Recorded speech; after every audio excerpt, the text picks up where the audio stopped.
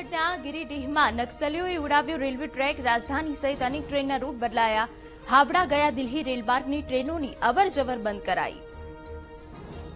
રાજ્યમાં કોરોનાના નવા ચૌદ હજાર સાતસો એક્યાસી કેસ, એકવીસ લોકોના મોત, સૌથી વધુ અમદાવાદમાં પાંચ હજાર બસો અડતાલીસ કેસ.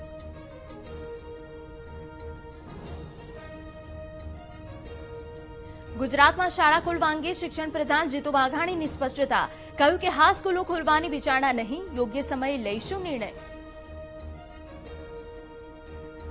આજે અમદાવાદ એમટીએસ અને વીએસ હોસ્પિટલનું બજેટ રજૂ થશે તો સુરત કોર્પોરેશનનું પણ બજેટ